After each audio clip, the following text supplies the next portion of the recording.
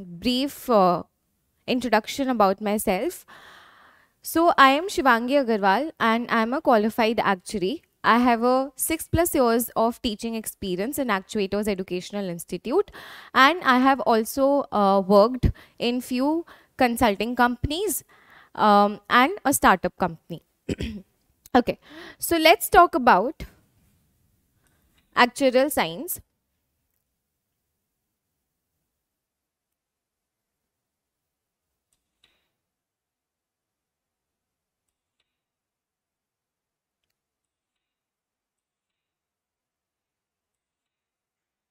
Let me move to the very first page. These are a few All India rank holders from our institute. Few qualified and associate actuaries. Okay, let's now talk about actuarial science. So what is an actuary or who is an actuary? An actuary is someone who calculates financial and commercial impact and valuation of uncertainty and risk of future events by considering the following situations. So we have financial, economic, social, demographic, technological and all the other factors that you can see and hear and know of. So where do we work actually? Now there are, if I just divide it into three parts, there are three sections where we can work. For example, let's talk about the traditional field where we as qualified actuaries or we as student actuaries work. In the traditional field, we have the very first is life and general insurance. So when I say a life insurance, for example, anyone in your family might have bought a whole life insurance or may, may have bought a term assurance. What do you mean by these terms?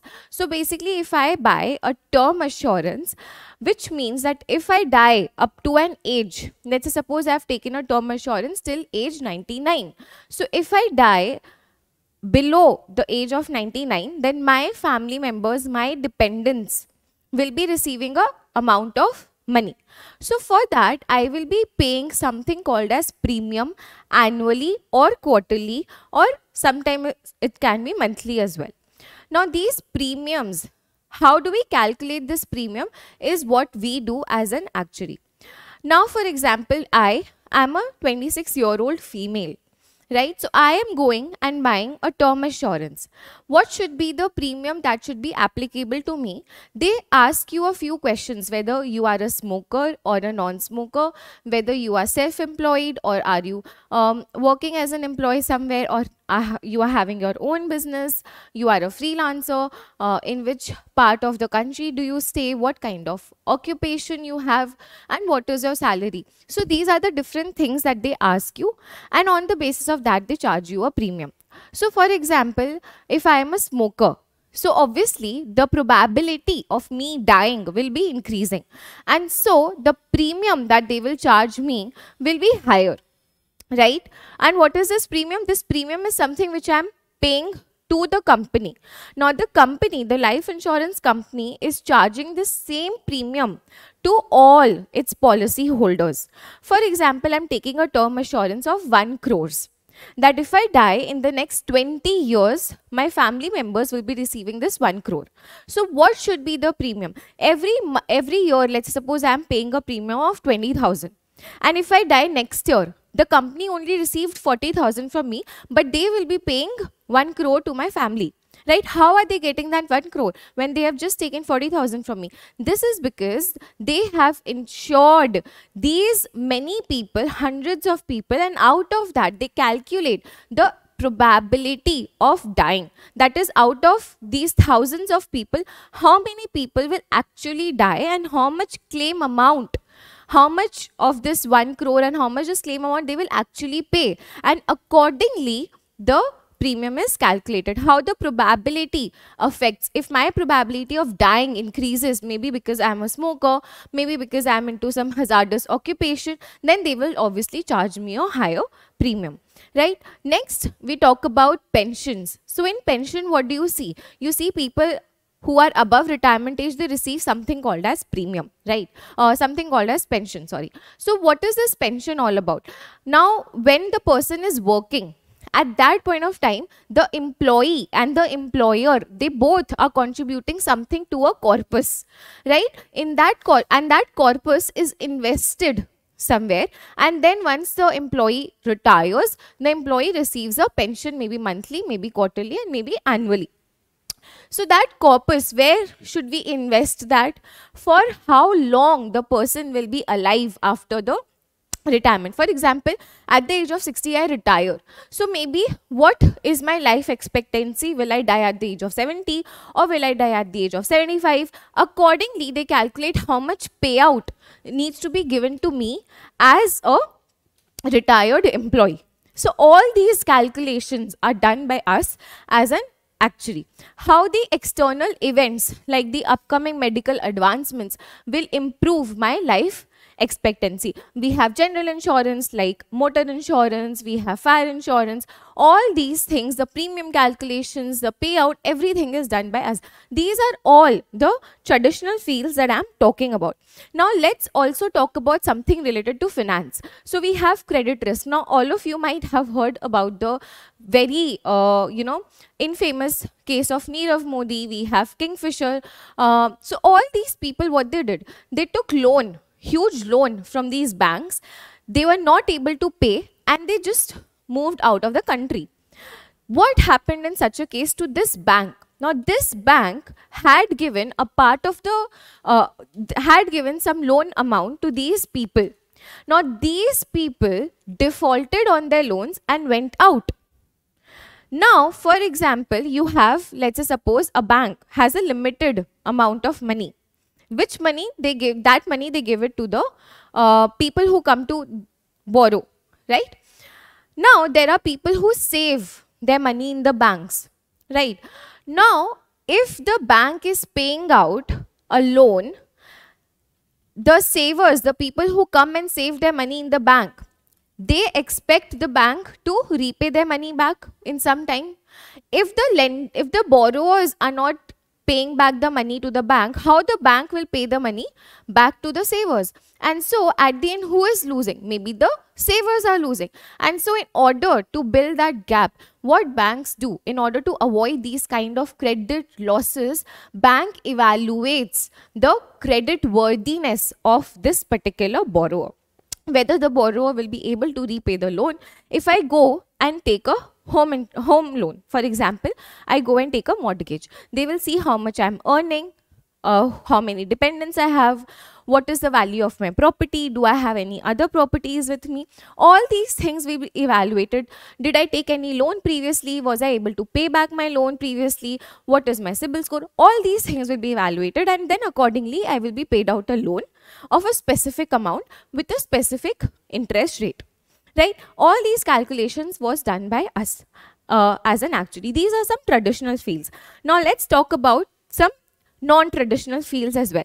So let's suppose the most upcoming non-traditional field is data analysis and modeling. You might have recently heard about uh, people moving into the data analyst field. What did they do? So nowadays we have lot of data with us, right? Data is a new oil. Now, these data are being evaluated, analyzed by the companies to generate further revenue. Let's talk about Netflix. When you open a Netflix, you will see that there are some uh, very uh, prominent uh, suggestions, maybe movies, maybe series, which you tend to open and you watch. Those suggestions will be different for you and for me, it will depend upon the demographic, my age, my gender, where I live in, what was my search history. All of these are being analyzed and modeled and accordingly, my search history, my uh, feed will look like. So that is what again we as a actuary do these are all non-traditional uh, events. Now, for example, there is something called as risk management. Nowadays, there are a lot of banks, there are a lot of investment houses also hiring actual uh, students. For example, if you need to evaluate a particular project, uh, if a company wants to invest in a particular project, will I be getting my money back from this project? When will I get money back from this project? What will be my profitability? Uh, where will, will there be any kind of cash flow crunch? Um, what uh, different uh, uh legalities are there? So all these things are being taken care by an actuary. there are some emerging fields as well. For example, we talk about climate change. So there is something called as climate modeling that we do. How the we are not bothered about the um, let's you know uh, don't use your air conditioners or don't do that. What we are bothered is about the financial risk that we will be having because of these of the climate change. For example, if I tell you because of the climate change, what is happening? Areas where we used to see huge rainfall now we are seeing a drought.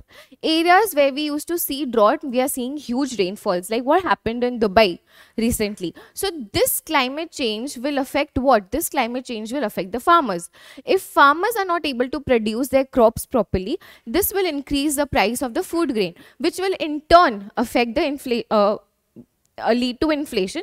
And again this will affect the costs of my company. So everything is interlinked. How climate change will affect my company indirectly in terms of cost profitability and financial burden. All of these things are modeled and evaluated by us as an actuary and we advise the companies on how to take measures and steps so that they can reduce their financial burden these are a few different fields where you can work. And it does not matter if you come from um, you know bcom background or from a bsc background or from a ba background. Anyone who just has a basic knowledge of mathematics statistics can pursue this course. So let's talk about who can do this course. Now who can become an actuary?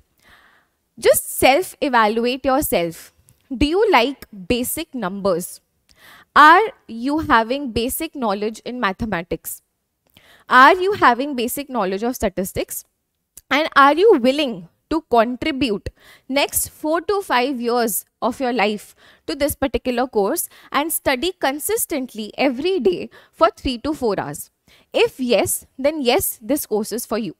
So anyone, any student who is consistent, who likes mathematics, who likes numbers, who uh, may not be very good with mathematics and statistics, but have some interest in that, knows how to, uh, is having a problem solving mindset, can definitely pursue actuarial science. So anyone coming from any field, any background can pursue this course. All it needs is dedication, patience and hard work. Let's talk about what is the entire course curriculum. So in the entire course, we have 13 papers that you have to appear for. If we divide these 13 papers, it can be divided into four levels. The very first level, which is considered as the core principle papers, this has seven papers in it. CM1, CM2, CS1, CS2, CB1, CB2 and CB3. If I just individually quickly discuss about every paper, CM1 is financial mathematics, which involves um, Excel. So we have Excel and R programming also included in our software. When I say Excel, whatever you do in theory, everything is then done same on Excel. Whatever you do in your theory is done in R programming. So we have two softwares that you will learn along this journey. Out of the 13 papers, there are five easy, comparatively easy papers and rest are a little difficult ones. Here, the easier ones are CB1, CB2, CB3. So these are those three easy papers out of five. CM1, CM2, CS1, CS2 are the core building blocks of your actuarial science. Now CM1 is financial mathematics where you will be learning about the project appraisal, loan schedule, premium calculation. CM2 is more related to stock market. So we are also into stock market. If you want to evaluate a company, whether the price of this company, the share price will go up or whether it can go down, you can do the fundamental and technical analysis for a particular company. CS1 again is basic statistics which involves basic probabilities and basic statistical um, tools which you will be needing in future papers. CS2 again is a higher statistical paper, which involves, again, it deals more in the general insurance side. Uh, modeling side, we learn machine learning over here.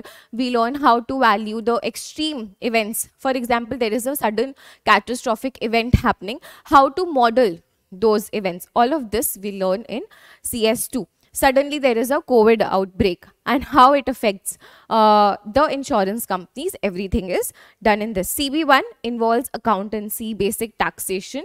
Um, CB2 is full economics, micro and macro, very interesting. CB3 is business management paper where you have different modules and a group study. So these are the core seven papers.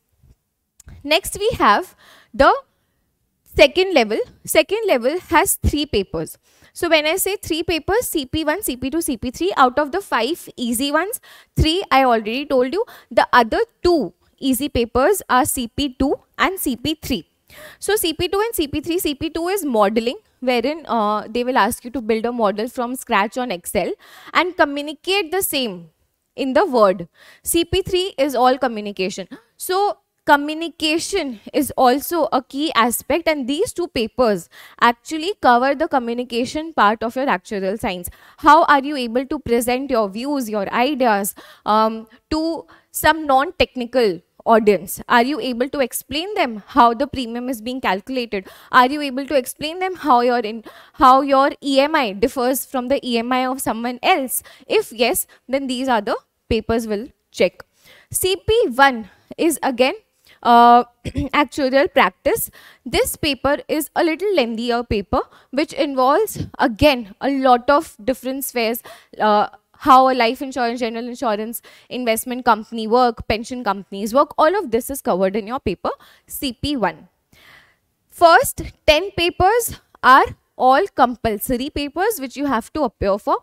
Then the third level and the fourth level are specialist papers. So for example, if you want to specialize in investments, then what paper you will appear? You will appear for SP5 or maybe SP6. So out of these papers, you can select any two. You will have to appear for any two paper. If you want to specialize in life insurance, you will give SP2 and maybe SP1 or people also sit for SP4. If you want to specialize in general insurance, you will be appearing for SP7 and SP8.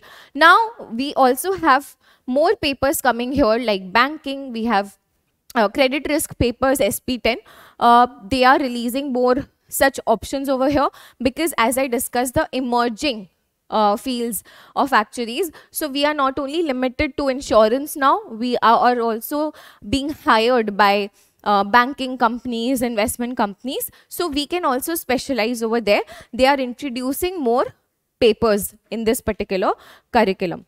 So this too and then after this you have to appear for the last paper which is your SP level, essay level paper so any one you need to appear for any one essay level paper over here. It can be either SA3 if you want to specialize in general insurance, SA7 like I have specialized in SA7 in investment.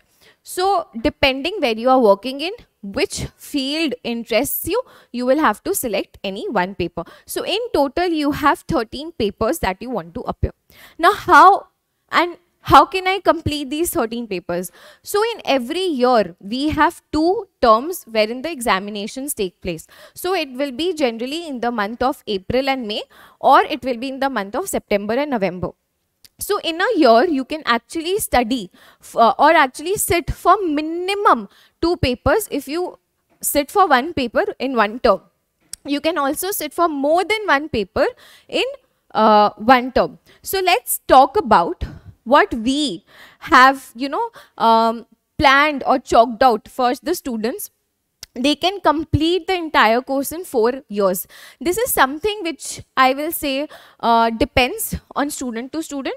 We are considering the best case scenario over here, given the students follow the guidance and also given they are able to clear all the papers in their first attempt. Starting from term 1, in term 1, the student will sit for the any one, CM1 or CM, CS1, uh, which are the core papers I showed you in level 1, and CB1 or CB2, any one of this. So, two papers over here. In term 2, again the rest two papers which are left.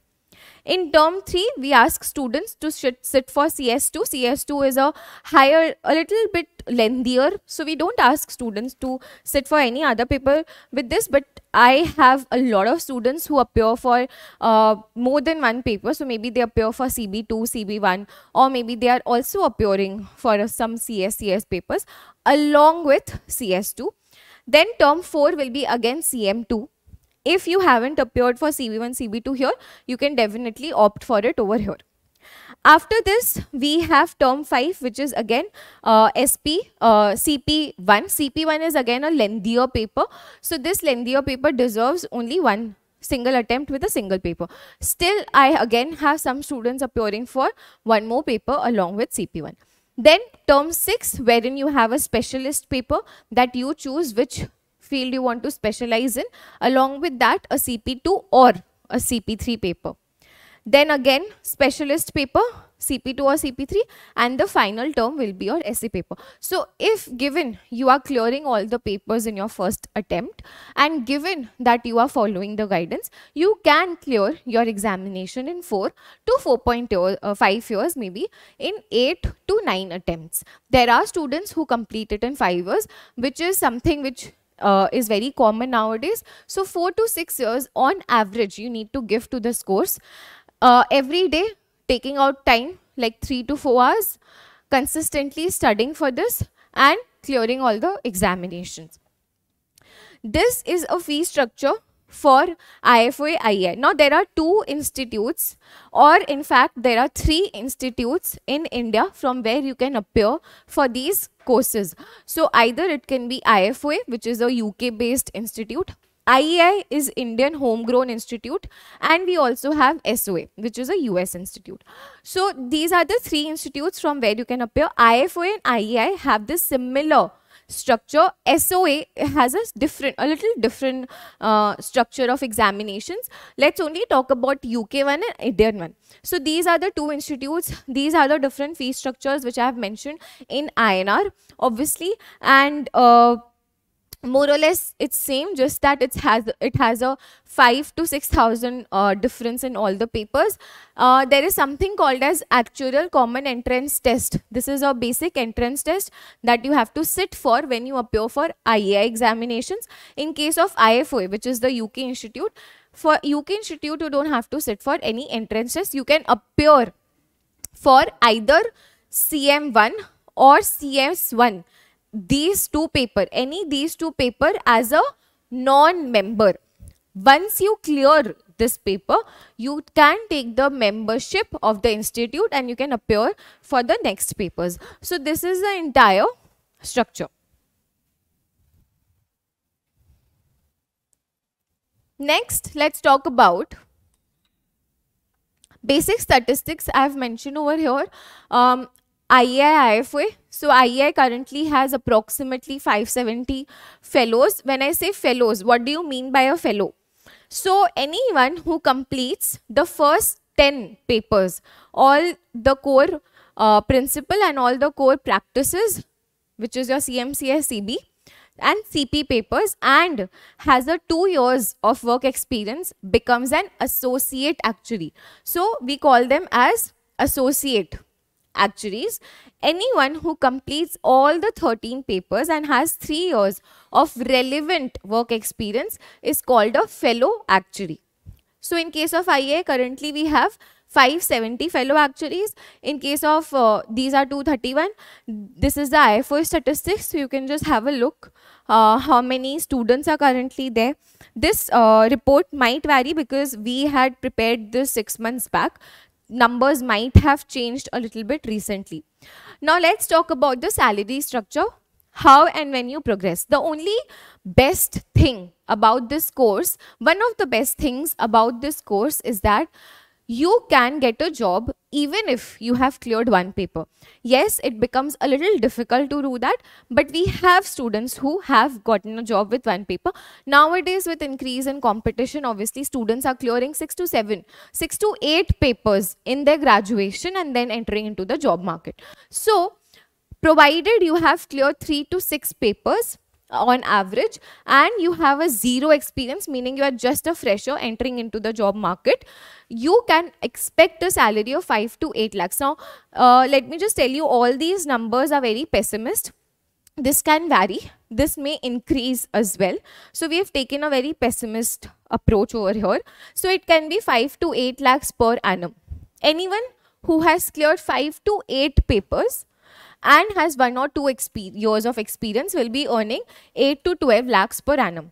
With the 10 papers cleared, you become an associate actuary and that 10 papers is the first 10 papers that I'm talking about.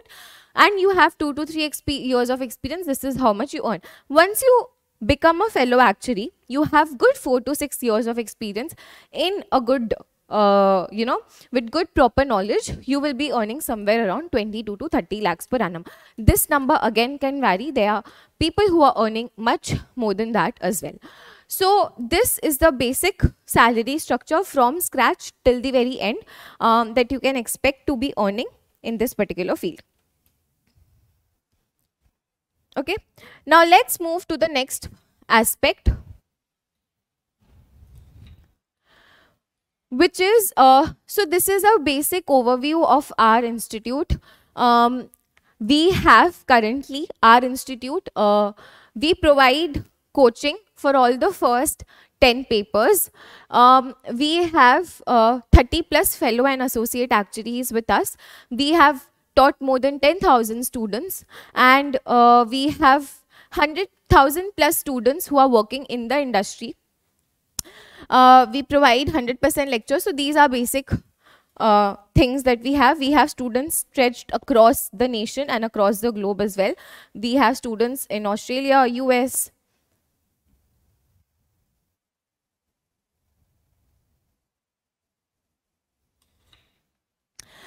Um, so let's talk about the placement cell.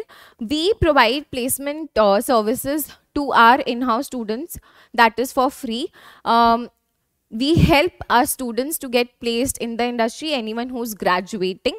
We help them connect with the companies, share their CVs and help them in getting placed. Along with that, we also provide placement assistance in the form of uh, weekend like weekend uh, sessions with industry experts. They teach them how to make CVs, uh, LinkedIn profiles, how to communicate, how to perform in the group discussions, personal interviews, writing articles, all of these things which can help you uh, while sitting in an uh, interview or you know preparing an interview we help our students to do that and also making sure that they get the job. These are the few student reviews that we have.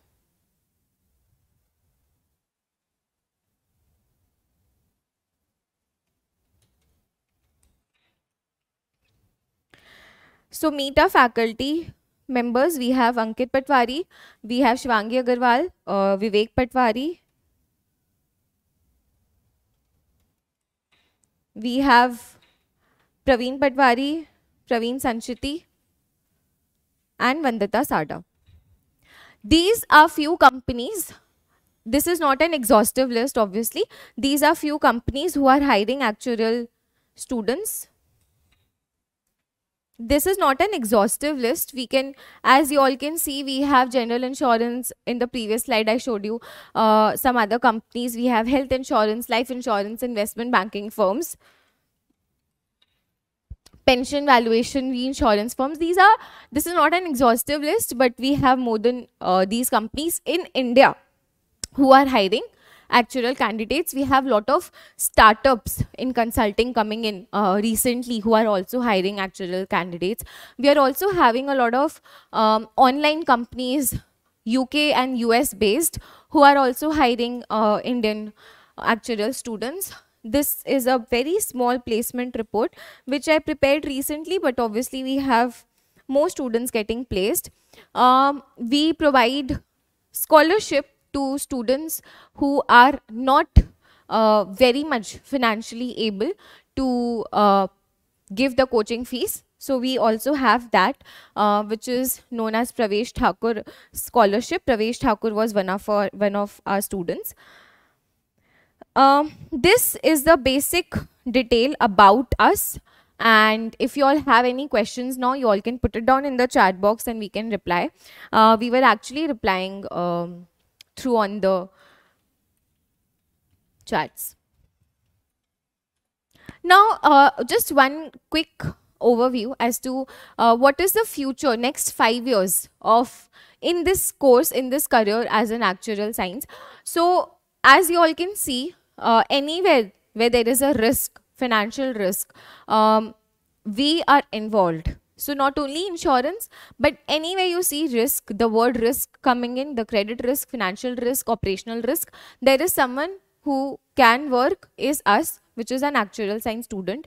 We have, after going through all the 13 papers, we have become so versatile um, with the level of knowledge that we can put forward and the level of communication that we have built and the kind of professionalism that we show and that our institutes um, you know they have their thing this thing in curriculum that we uh, properly with ethics and professionalism convey and communicate that we can be working we can be there working in all these different fields. So nowadays now also we have something called as fdi foreign direct investment coming in in insurance sector wherein um, the companies outside of India can come invest in India, they can form their companies, they can sell their products, uh, which is also supported by the government. And so more and more uh, jobs are not only coming in the core insurance fields, but also the other fields are recognizing the importance of an actuarial candidate and they are coming in and hiring the actuarial students. So if you all have any further doubts, you all can put it down in the chat box.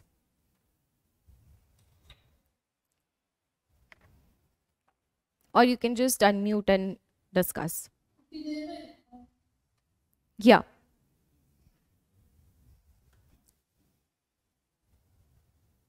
Go ahead. We, I can hear you.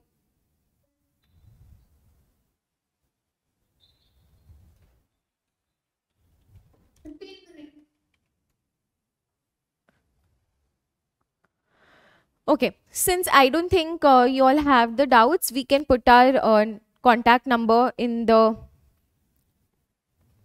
we can we are putting the contact number in the chat box. You can just uh, talk to us. And uh, also you can follow us on our social media under the name actuators educational institute and let us know if you have any further queries